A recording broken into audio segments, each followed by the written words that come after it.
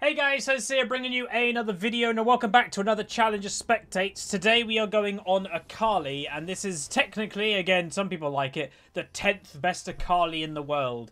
Uh, there was only two Akalis in the top 10, and uh, only one of them has been playing recently. And this is one, the Akali, her name is Aviator Akali in the Akali clan.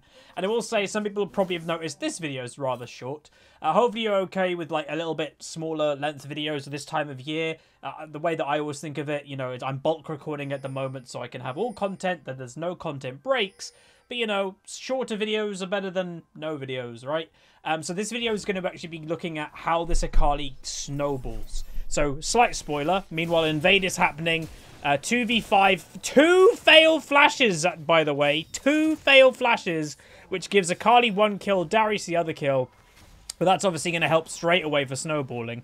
Um, but yeah, she does get very fed. The game doesn't last that long, which you can kind of tell by the video length. Uh, but I want to know how did she do it? You know, is there any special things that she does? Is there any technique? Uh, is it just pure out aggression at the right time? But obviously, what I will say is she just got first blood, right? But she didn't use any summoners. Uh, but she hasn't gone back yet. So if she kills Gragas again, how? Uh, obviously, Gragas now has used both summoners. Again, there is some people play Gragas mid. I don't rate it that highly. Um, if you want to play AP Gragas, then I'd probably play it just in jungle and not take the, the role of a mid laner. But, like, how did she do it? So she got the one kill. She still has both summoners, and possibly she's going to go for an all-in at level 2 or level 3 with full summoners versus no summoners. Uh, I'm pretty sure um, so they're saying, yeah, look, if you look at the pings that the enemy team has done, so they know Irelia used her, her Ignite, and they know Gragas used Flash. Um, so they know that information at least, so they should be using that. So level 2 hit, no change in aggression so far from the Akali. Um, you know, I was kind of expecting her to hit level 2 and kind of try to go all in. Nothing. No, no, no style of play change. Little bit there. Gragas actually goes to the engage. Akali just does a bunch of damage return with the a, um, electrocute proc. Gragas opting for a arcane comet, which I think is standard on him. Uh, and then Akali opting for electrocute. Uh, obviously, just to say, not Dark Harvest. Dark Harvest has been nerfed too hard. Um, it's probably still good on something like Karthus or something, but it, the vast majority of champions that did take Dark Harvest, it's got nerfed too much. You need something like 25 roughly stacks of Dark Harvest to at least be equal with Electrocute. But Electrocute does more damage equally up until you get 25 stacks of Dark Harvest. So are you going to get 25 stacks? Probably not. So it's just pro it's safer to go Electrocute, and more or less it's better to go Electrocute right now. Again, I reckon it will get patched or updated again, but right now it's just not worth doing.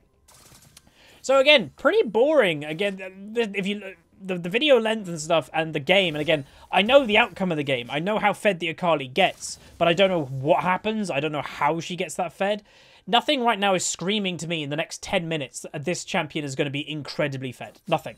It's a relatively passive lane phase. Top lane, Darius has just died, by the way. So, like, what happens? Uh, by the way, the Darius running Ghost and Teleport, which... Eh, like, again, Ghost is good on Darius, but I wouldn't take it over Flash. Flash is just really cool uh, to a lot of champions. But then, the if you can see on the minimap, Irelia overstays and gets killed anyway, so... Yikes. Right, so is the Akali waiting for level 6? Um, Gragas is full health because of his passive. Uh, he still has two health potions. Akali has one, and she has one currently running, so she'll be near enough full health by the time those potions are finished. Um, bot lane is a little bit even. Oh, well, firstly, let's just swap there. There were two uh, role um, changes uh, by the blue team. Is Akali and Darius swapped, and then the jungler and the AD carry swapped. So, again, higher rating. Sometimes, you know, people only play one role or one trick, whatever, and people, you know, a lot of the time people give that role to the person. Uh, I personally don't do it all the time because if I'm just in the mood to play mid, why should I sacrifice my enjoyment to let you play the thing you only play? But if I wouldn't like, it's an awkward situation. Um, so here we go. A little bit of aggression or not, just going for farm. Yeah, literally, there is no aggression from the Akali. A little bit weird to see the uh, the cloud kind of going in where the uh, terrain was blocking it. Um, so farm-wise, the Akali is ahead.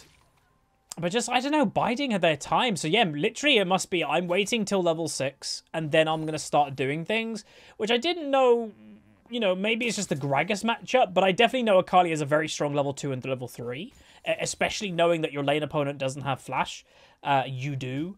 So it was a bit weird. I'll say that right now. It's already been a bit weird to me. And again, if we're we're taking this as a you know spectating and education, it's a bit weird to me that they didn't do anything aggressive. Unless, again, I don't know this matchup. I'm learning Akali myself a little bit at the moment. Unless there's the specific matchup, she knows she does not outtrade him unless she is level six, possibly. Uh, so there was just no point to trade him. Just beat him a little bit in farm and wait until level six. That's possibly it. So she has to be careful right now because Gragas could go for an E ultimate and then have her in the in the tower. I predict she's probably going to go back and buy and then look for a kill. Um, because oh, there's a return kill from the Darius now killing the Irelia, so that lane's a little bit crazy. But yeah, so she's again near the tower, getting some nice little poke every now and then. Again, she's had no thought of the enemy jungler either, who, by the way, is Rumble running Dark Harvest which is a little bit weird. We did say earlier the Dark Harvest really isn't worth taking uh, anymore uh, unless you're getting high stacks. Well, the Rumble has had no stacks so far because he's not got involved at all. So again, a little bit weird to see that as well. I would probably expect, I don't know, an Arcane Comet instead. All right, here we go. Ultimate coming in. Q to the W. Pops the flash instantly. There's the second ult to the ultimate. And Gragas will go down. Little bit sloppy play by the Akali. I think she thought he was dead uh, when she didn't go for a final auto attack and then she had a flash auto or flash Q. But yeah, she she picked a time. But again, why did she pick that specific time? Was did she see an opening? Why didn't she do that when she hit level six? Uh, obviously, the tower might have something to do with that. Meanwhile, there is a rumble in the jungle. Uh, fighting the enemy Kayn. Slight level advantage for the Rumble. Kayn, however, is having higher dueling pressure right now, which is kind of crazy. Uh, level 5 versus level 6. Imagine if Kayn was level 6. Uh, Akali probably going to go back. Thresh going yeehaw and misses. Uh, probably good that, that nothing happened bad there. Uh, and if we take a little summary while Akali's gone back to buy, top lane winning, jungle winning, mid lane winning, AD carry winning, and support obviously neutral more or less. Uh, yeah, 100 or so gold in it. But this game is also going pretty good. The level 1 obviously would have helped that. Um, but not too much. Again, I don't think the level 1 of both Irelia and um, Gragas dying has had that big of an impact so far. Because Irelia still killed Darius in the 1v1 earlier. And the Akali has only now killed the Gragas when he when he had flashback up. Like it, it was not, nothing of the level one. Re- and again, when Akali killed Gragas, she hadn't bought yet, so the gold advantage didn't. You know, there wasn't a gold advantage of items anyway. Um, so the level one has been relatively irrelevant. Akali looking for a play, uses her E to jump over the wall, which again, that's a lot of like potential utility that you're missing out when you're just using that to be closer to an opponent instead of actually trying to get on the opponent with the E.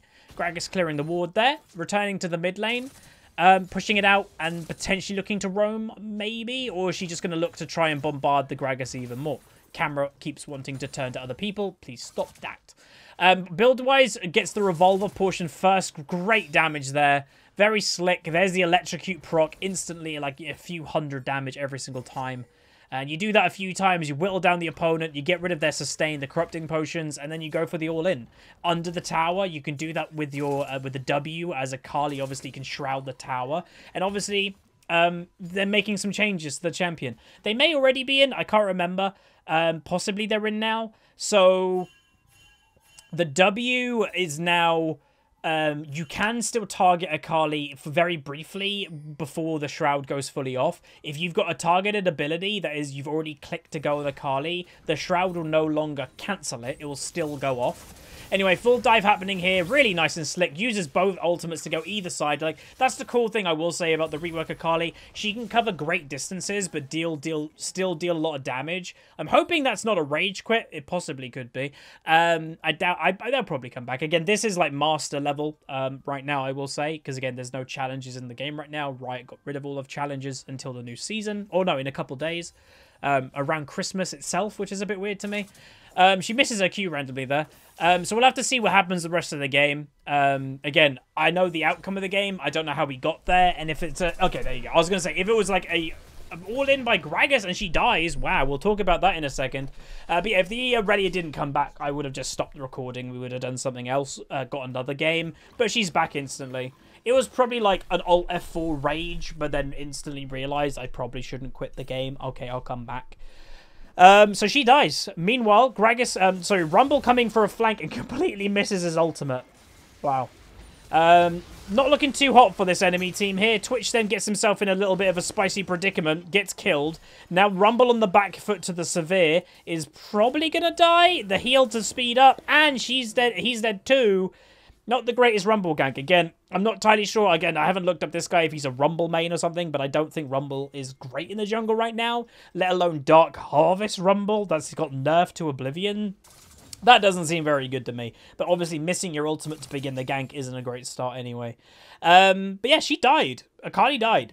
AP Gragas is designed to burst. When you have a squishy Akali, she can get bursted, and that's exactly what happened. So even though that she's had relatively good control of this lane, Gragas is now back to being even in farm, um, and she dead in a 1v1. Gragas used Ignite, I believe, to get the, the final blow, but that's where this Akali can't, you know, get passive and get lazy uh, and another thing that the Gragas is doing, which is a little bit weird, I guess, but I guess it's the the corrupting potion link for healing.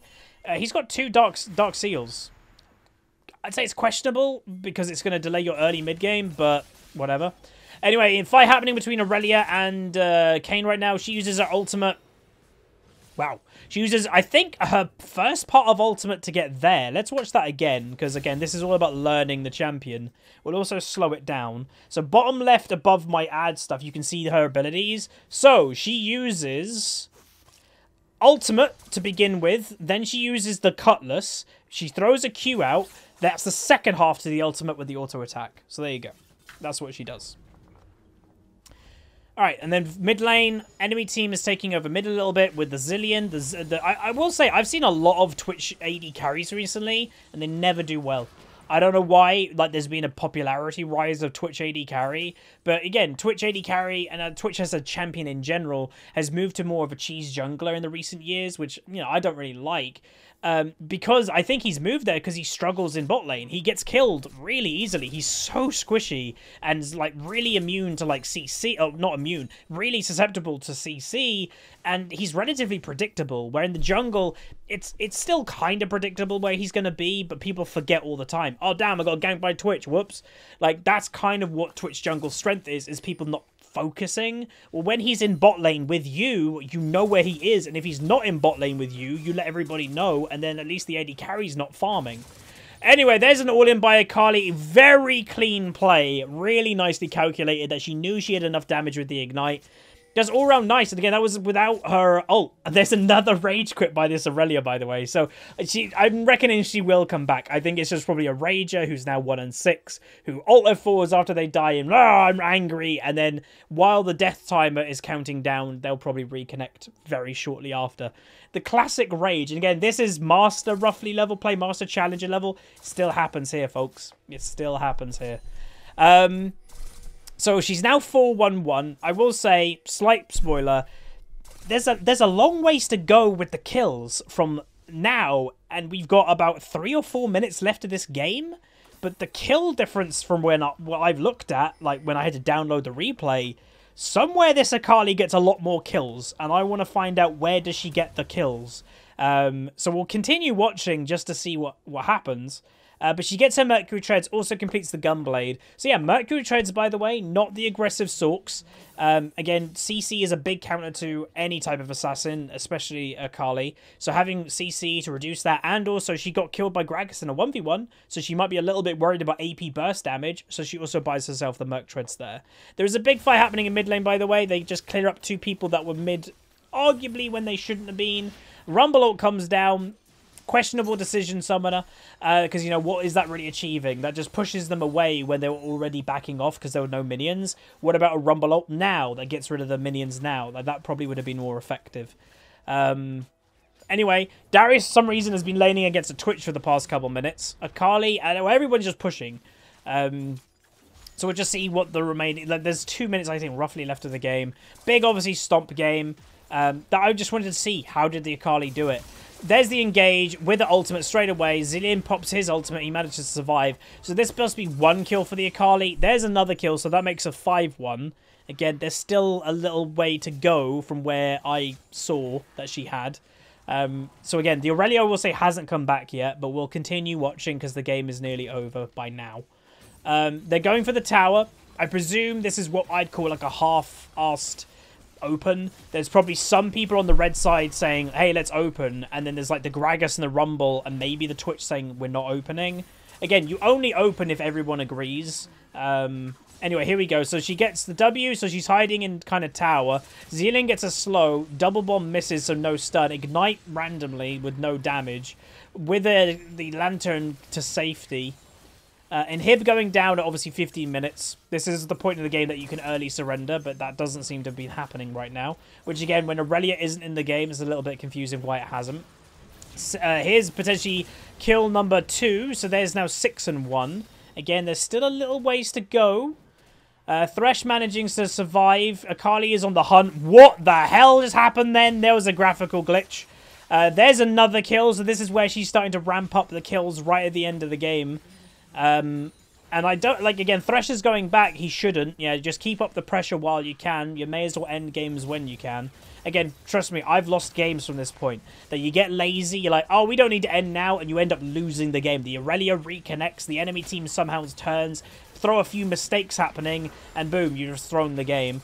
Uh, Gragas getting engaged on. Boom, there's another kill for the Akali. So really, she did fine in the lane phase. A graphical glitches galore. Uh, but really, she was just cleaning up right at the end here. So anyway, this was a... It was an okay episode. I just wanted to see what she did against the Gragas. So remember, she was relatively passive in the early game. She waited until I think it was level 7 until she got her first 1v1 kill. Uh, but then was just relatively clean about it. Remember, she caused the Irelia to rage quit by doing a really clean play here. So again, a little bit disappointing that you have the AFKer over there. Eh, if this video gives anything more than the Akali stuff, remember, this is master level play, and you have a rage quitter like the Irelia. They happen everywhere. So if you're somebody in iron or bronze or gold or silver, remember, it happens at the peak of solo queue. So it's not just your ranked games that get affected by them. It's also here, surprisingly. But anyway, that's going to be it. If you guys did enjoy, throw a like on the video. I will say, by the time you're watching this, I might be recording one or two more, uh, so if you want to leave suggestions of champions, put them in the comments and I'll try to record a couple of them. Uh, but yeah, hopefully the shorter video is okay. It's just the time of year. Obviously, I've got to try and get as many videos done, so there is content, there's no breaks. Uh, but obviously, if that means that there, there's some shorter videos instead of no videos, I, I think that's okay. But anyway, like, subscribe, see you guys next time. See you. So hey guys, just as a bonus uh, at the end of this video that I just thought I'd show, um, notice the damage chart for this game. Uh, so the Akali does the most, then the Sivir. And one thing I wanted to point out, remember, you know, a lot of people go, oh, the Irelia ruined the game. Obviously, yeah, it didn't help that she quit or whatever, but don't think that that is what entirely lost it. Twitch did 1600 damage to, to champions. The Rumble did 3000, so the Rage quitting Irelia did more than three of the teammates that she had. So it's just worth noting. Obviously, still bad that she rage quit, still deserves to get banned and punished. But the game wasn't just because of the Irelia, there were other things too. The Gragas, uh, who was against the Akali, actually was pulling off the most damage. But anyway, that that's what I'm going to leave you guys with. Like, subscribe, see you guys next time. See ya.